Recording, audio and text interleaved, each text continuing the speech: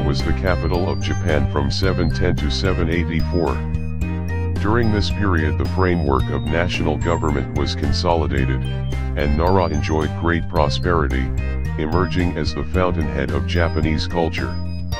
The city's historic monuments, Buddhist temples, Shinto shrines, and the excavated remains of the Great Imperial Palace, provide a vivid picture of life in the Japanese capital in the 8th century, a period of profound political and cultural change.